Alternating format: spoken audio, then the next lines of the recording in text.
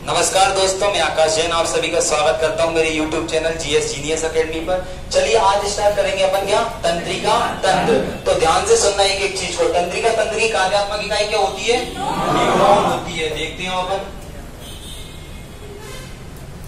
Neuron. और हमारे शरीर में, ध्यान देना, कितने न्यूरॉन होते हैं? Hundred billion. लेकिन केवल इसमें से एक्टिव कितने रहते हैं? सक्रिय रहते हैं दस बिलियन। दस बिलियन कितने रहते हैं? सक्रिय रहते हैं, ध्यान से सुनना।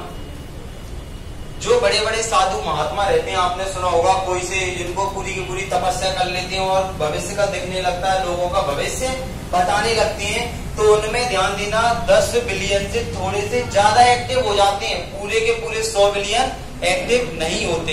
अगर 100 बिलियन एक्टिव हो जाते हैं तो भगवान बन जाएँगे। लूसी मूवी देखी कि नहीं देखी? तो उसमें क्या होती है? वो गॉड बन जाती है एंड में एंड में शरीर गायब हो जाता है। वैसा काम हो जाएगा, ध्यान देना। तो हमारे अंदर कितने होते हैं? दस बिलियन एक्टिव होते हैं। दस बिलियन में भी धीरे किसी किसी कोई बोलता है कि हमें तो 25 बार पढ़ने में भी याद नहीं होता। और किसी किसी को दो बार पढ़ने में याद हो जाता है। वो कौन? किस पर डिपेंड करता है? न्यूरॉन कितने एक्टिव है, कितने सक्रिय है या कितने सक्रिय नहीं है। और तंत्रिका तंत्र का अध्ययन, न्यूरॉन का अध्ययन विज्ञान की जिस शाखा में करते हैं, उसे क्या बोलते हैं? न्यूरोलॉजी। न्यूरोलॉजी। और हमारे शरीर की, ध्यान देना, ये न्यूरॉन हमारे शरीर की कैसी सबसे लंबी कोशिका होती है? कैसी होती है? सबसे लंबी कोशिका। सबसे लंबी कोशिका होती है न्यूरॉन हमारे शरीर की। क्वेश्चन आता है कि क्या तंत्रिका तंत्र के भी कई प्रकार होते हैं? तो ध्यान से सुनना तंत्रिका तंत्र के भी तीन प्रकार होते हैं। केंद्रीय तंत्रिका तंत्र सेंट्रल नर्वस सिस्टम ध्यान से सुनते जाना आप तो। केंद्रीय तंत्रिका तंत्र सेंट्रल नर्वस सिस्टम पूछूँगा किसी से भी कोई भी क्वेश्चन दूसरा पेरीफेरल पर्दीय तंत्रिका तंत्र तंत्रिका तंत्र।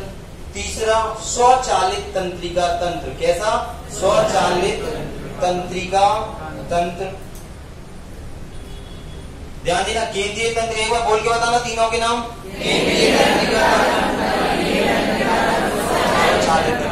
मेन, अब हम देखेंगे कि हमारा शरीर किस पर काम करेगा, पूरा दिमाग किस पर नियंत्रित करता है। तो मेन, केंद्रीय तंत्रिका तंत्र, सेंट्रल नर्वस सिस्टम, ये क्या काम करता है? ध्यान से सुनना। ये स्वयं की कोशिकाओं पर और पूरे शरीर की, कोशिका मतलब यहाँ पर न्यूरॉन ये पूरे शरीर की तंत्रिकाओं पर एवं स्वयं की तंत्रिकाओं पर नियंत्रण करता है। पूरे शरीर की तंत्रिकाओं पर। प्लस स्वयं की तंत्रिकाओं पर क्या करता है? नियंत्रण करता है। स्वयं की तंत्रिकाओं पर।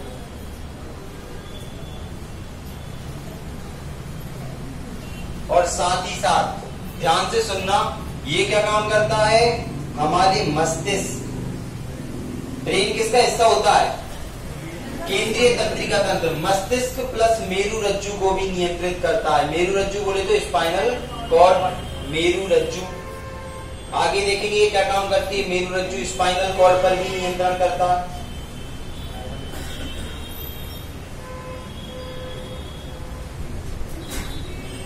सुनना पेपर में सीधा सीधा क्वेश्चन आएगा कि हमारा मस्तिष्क किस तंत्रिका तंत्र का भाग है?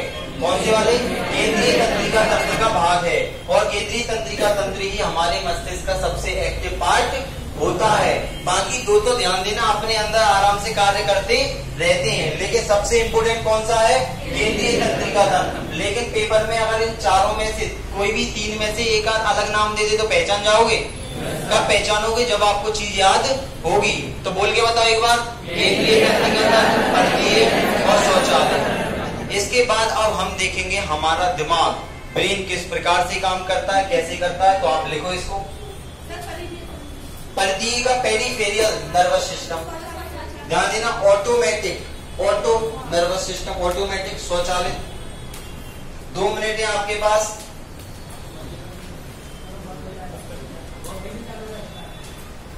वो अपने आप नहीं नहीं, चलने तो कोई दिक्कत नहीं है। जो पढ़ रहे हैं यूट्यूब पर, जो वास्तव में पढ़ना चाहते हैं, वो लिख रहे होंगे और आपको मैं दो मिनट का समय दे रहा हूँ। आप यूट्यूब पर जिनको पढ़ना है, वो पढ़ेंगे। अपनी चिंता करो, आप लोग पूरा का पूरी चीज़ें आनी चाहिए।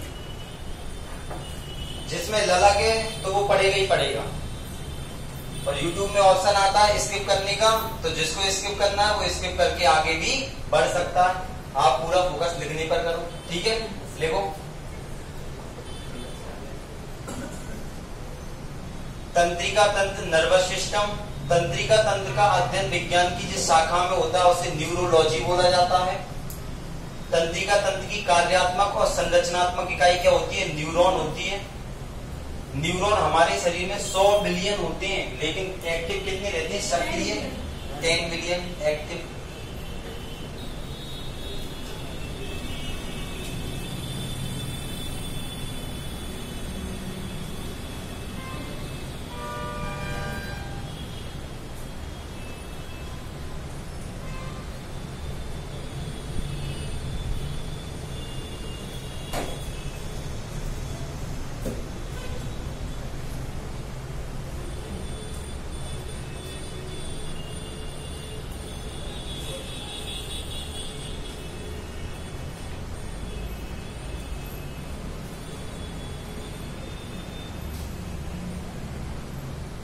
लिया? बहुत बढ़िया। चलो, मैं एक मिनट का टाइम और दे रहा हूँ।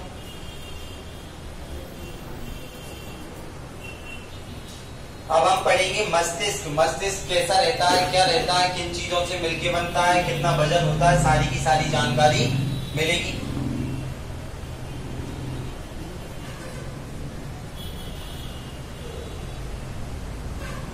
इस साइड वाला हटा दूँ? ठीक है?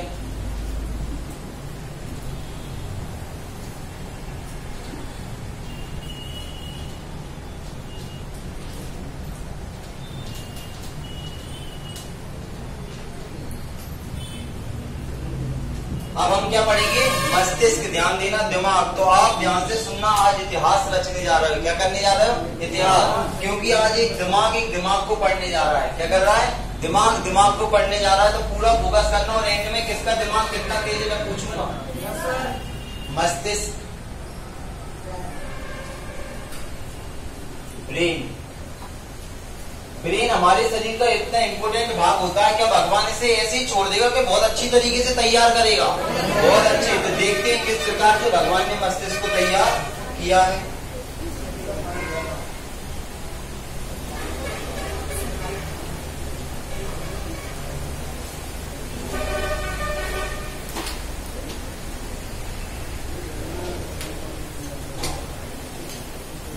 ठीक है, मस्तिष्क ध्यान देना, ये अपन बना देते हैं मस्तिष्क। पूरा फोकस करना सीखने पे, बारिश से कोई मतलब नहीं होने दो। ये मस्तिष्क, हमारा मस्तिष्क कितने भागों में बटा रहता है? भागों में। अभी देखेंगे, सबसे पहले क्या हाँ ध्यान से सुनना। क्या भगवान इसे ऐसा ही छोड़ देगा? बिल्कुल एक व्यवस्थित शेप में रखा है तो ध्यान से एक एक चीज़ को सुनना। सबसे पहले हमारे मस्तिष्क पर होती है त्वचा स्किन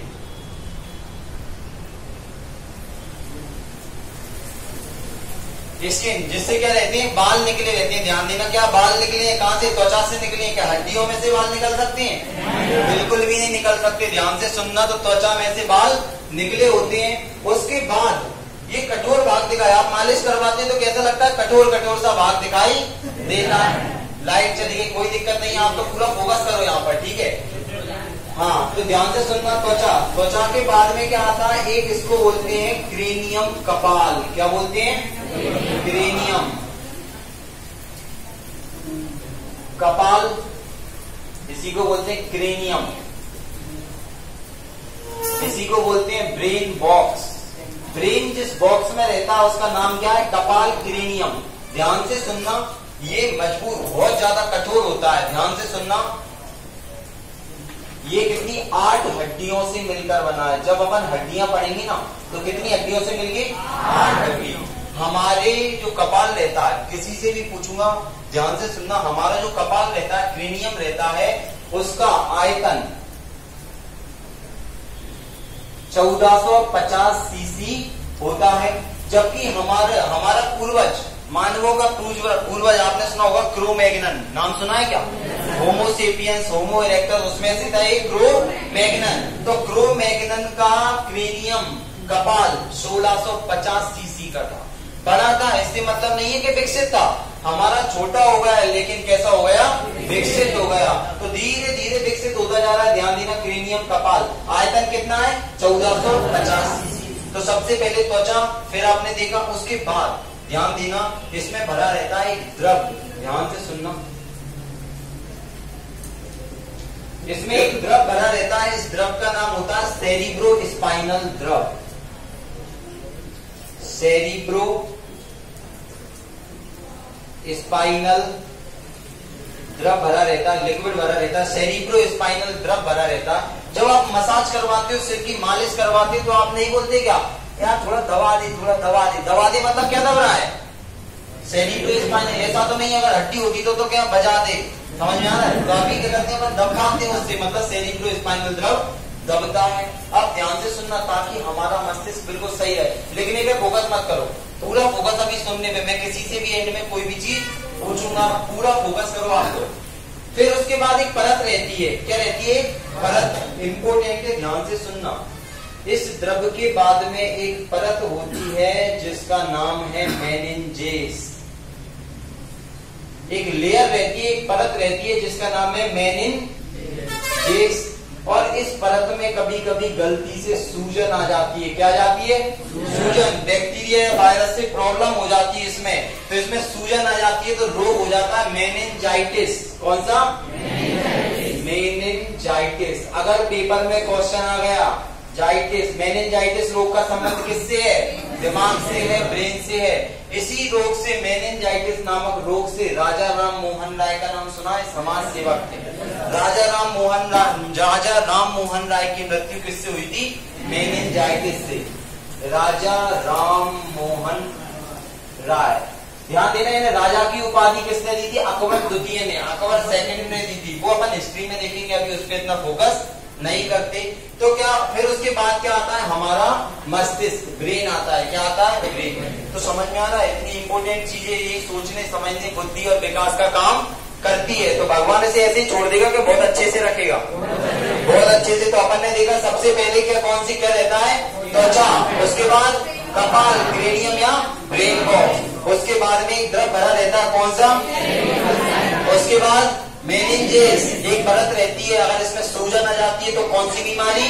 मेनिंजाइटिस बहुत बढ़िया। मेनिंजाइटिस बीमारी के कारण ही राजा राम मोहन राय की मृत्यु हुई थी। अब आते हैं मस्तिष्क पर। किस पर आते हैं? मस्तिष्क, ब्रेन। सबसे इंपॉर्टेंट चीज़, क्योंकि हम सोचने, समझने, बुद्धि और विकास का पूरा का पूरा केंद्र मस्तिष्क पर बात करने जा रहे हैं। हमारा मस्तिष्क इतना इंपॉर्टेंट होता, अभी आपने देखा होगा कि मंगलयान टू पर भेज दिया। मतलब ज़मीन से हम चंद्र बहुत बढ़िया। मतलब आपका पूरा ध्यान है। मैं चेक करना चाह रहा था। बहुत बढ़िया। चंद्रयान टू चंद्रमा की ऐसी भाग पर जहाँ पर अभी तक कोई नहीं पहुँच पाया है। तो ये अपने दिमाग ने तो खेल खेला है कि कैसे जाएगा ऊपर। ठीक है? तो मूवी भी आ रही, मंगल मिशन उस पर अपन देख सकते हैं कि मंगलयान को कैसे भेजा था। अभी आगे उस पर चर्चा करेंगे। अभी अपन किस पे चर्चा करेंगे? मस्तिष्क ब्रेन हमारे मस्तिष्क का वज़न होता है, ध्यान देना 1350 ग्राम से 1450 ग्राम। क्या हमारे शरीर का सबसे बड़ा वजनदार हिस्सा है ये? नहीं, सबसे बड़ी ग्रंथि का नाम क्या है? लीवर कितने किलोग्राम? डेढ़ किलोग्राम। समझ में आएगा आप काम की चीज़ पे आते पूरा फोकस करना शांति से। मस्तिष्क ध्यान देना कितने भागों में? तीन भागों में बटा होता है। सबसे पहले अग्र मस्तिष्क ध्यान से सुनना। फॉर ग्रीन ध्यान से सुनना। मध्य मस्तिष्क मिड ग्रीन। सबसे लास्ट में होता है पश्चिम मस्तिष्क पश्चिम मस्तिष्क हिंद ग्रीन। अब इनके कैसे भाग होते हैं कैसे काम होते हैं सारी की सारी चीज़ों को आप ध्यान से सुनना। मस्तिष्क के कितने भाग हैं? सबसे पहले कौन सा? फिर पश्चिम मस्तिष्क। आप ध्यान से सुनना। अग्र मस्तिष्क फोर ब्रेन ये भी कितने? दो भागों में बता रहता है ध्यान से सुनना। नोट्स में आपके जो दिया है, उसको मैं और ज़्यादा व्यवस्थित तरीके से बता रहा हूँ तो ध्यान से सुनना। अग्र मस्तिष्क कितने भागों में बटा रहता है? दो भागों में बटा रहता है, ध्यान से सुनना। एक है शहरी भ्रम ध्यान से सुनते जाना शहरी भ्रम हो जाएगा अपना एक, ध्यान देना, दूसरा हो जाएगा डाई इंसेफ्लॉन डाई इंसेफ्लॉन अभी सारा का सारा समझ में आएगा आप सुनते जाओ ध्यान से। दो भागों में बटा है अग्र मस्तिष्क सेरिब्रम और डाई। इंसेफ्लॉन पूरे के पूरे मस्तिष्क का अग्र मस्तिष्क आगे वाला भाग टू थर्ड होता है। दो तिहाई होता है। मतलब सबसे बड़ा भाग कौन सा है? अग्र मस्तिष्क दो तिहाई। ध्यान देना सेरिब्रम सेरिब्रम को क्या बोला जाता है? प्रामस्तिष्क बोला जाता है। प्रारंभ में कहा है? प्रारंभ में तो इसका नाम क्या है? प्रामस्तिष्क सेरिब्रम अग्र मस्तिष्क का भी सबसे बड़ा भाग होता है और सबसे विकसित भाग होता है। ध्यान से सुनना, हमारे मस्तिष्क का सबसे विकसित भाग कौन सा होता है? शेरी सेरिब्रम तो एक एक चीज़ ध्यान से सुनना, सबसे विकसित भाग होता है अब विकसित भाग होता है, साथ ही साथ क्या होता है, ये बुद्धि और चतुराई का केंद्र होता है। जो हम बुद्धि सीखते हैं, पढ़ते हैं, ये सारी की सारी बुद्धि तो बुद्धि और चतुराई का केंद्र कौन सा होता है? बुद्धि एवं चतुराई का केंद्र। साथ ही साथ ये काम क्या करता है?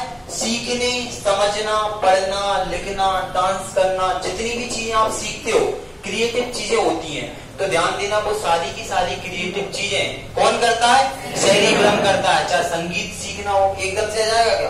पेटी बजाना सीखना है। तो आप पहले तो पे पे पे, अलग अलग कर। फिर एक बार एंड में। वो गिटार पे पहले अपन लाते हैं तो टिन टिन करते हो फिर एंड में ठीक है? अलग अलग आते हैं। तो ध्यान से सुनना तो संगीत सीखना। मतलब कोई भी चीज़ सीखने का केंद्र कौन सा है? शहरी ब्रह्म सीखना एवं पढ़ाई, संगीत आदि का केंद्र कौन सा होता है? शहरी ब्रह्म ब्रह्म मस्तिष्क होता है। अब ध्यान से सुनना, ब्रह्म मस्तिष्क भी दो भागों में बटा होता है। एक एक चीज़ को ध्यान से सुनना। इसको अभी अपन देखेंगे डाइसेफ्लॉन को थोड़ा दूर बना देते हैं। डाइसेफ्लॉन ध्यान से सुनना सेरी ब्रह्म को भी दो भागों में बांटा गया है। एक आ जाएगा थेलेमस। थेलमस और एक आ जाएगा हाइपो थेलमस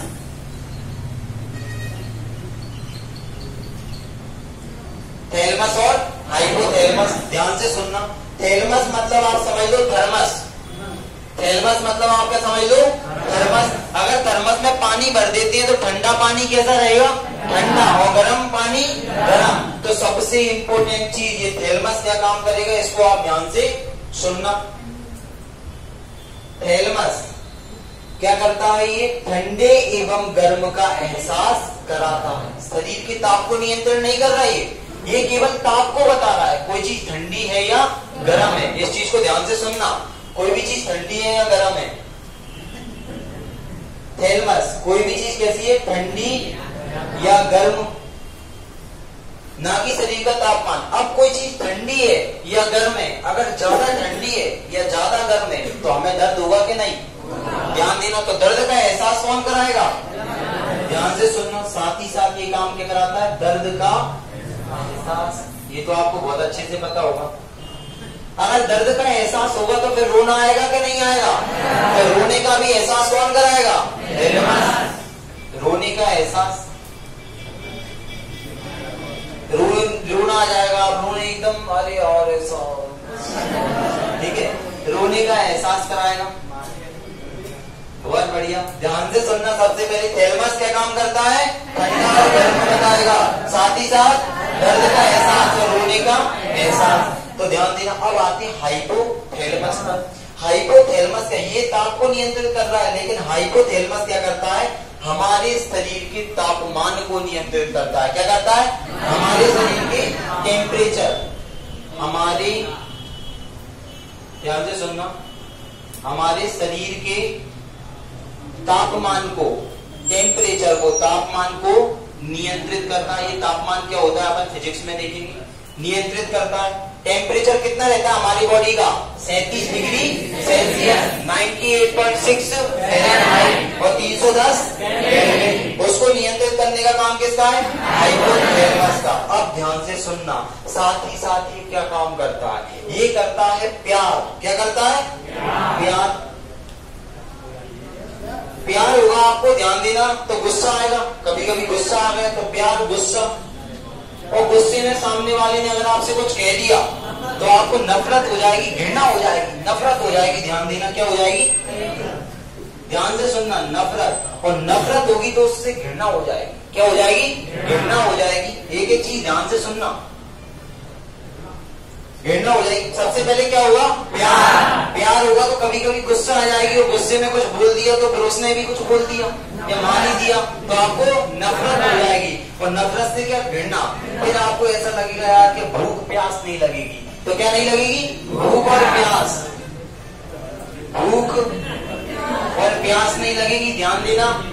हाँ तो आप लंबे समय तक अपने विचारों में खोए रहोगे, भूख प्यास नहीं लगेगी और आपका पूरा का पूरा टाइम वेस्ट हो जाएगा। तो अगर पेपर में क्वेश्चन आएगा, ध्यान देना कि बताओ, प्यार, गुस्सा, नफरत, घृणा, भूख, प्यास का केंद्र कौन होता है?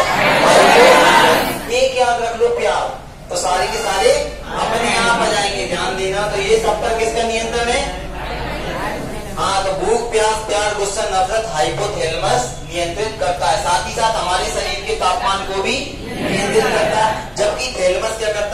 करता और गर्म का एहसास कराता है साथ ही साथ अब अपन ने देखिए अग्र मस्तिष्क के दो भाग शहरी ब्रह्म इसको बोलते हैं ब्रह्म मस्तिष्क और एक और डाई इंसेफ्लॉन अब डाई इंसेफ्लॉन के भी दो भाग होते हैं और सबसे इंपोर्टेंट है तो ध्यान से सुनना डाई इंसेफ्लॉन में। डाई इंसेफ्लॉन के भी दो भाग होते हैं। एक होता है, अपन ने देखा था, पीयूष ग्रंथि। कौन सी ग्रंथि पीयूष ग्रंथि पढ़ा दी मैंने नाम बताओ, इसको इंग्लिश में क्या बोलते हैं? पिट्यूटरी वज़न कितना होता है? किसके दाने के समान? के दाने के समान। ध्यान से सुनना पेपर में आता है। हमारे शरीर की इसको मास्टर ग्रंथि बोलते हैं। ये सारा का सारा पढ़ लिया अपन ग्रंथियों में तो ग्रंथिबाजी वीडियो डालूँगा तो उसमें आपको मिल जाएगा। पीयूष ग्रंथि। साथ ही साथ ध्यान से सुनना इसमें होता है पीनियल ग्रंथि, कौन सी? पीनियल ग्रंथि। ध्यान से सुनना इसको। पीनियल ग्रंथि को हमारे शरीर की तीसरी आँख बोलते हैं। मतलब हमारे अंदर भी क्या होती है? कौन से? भगवान की तीसरी आँख होती है। ऐसे हमें भी क्रोध आता है तो हमारे अंदर भी तीसरी आँख का नाम दिया गया है किसको?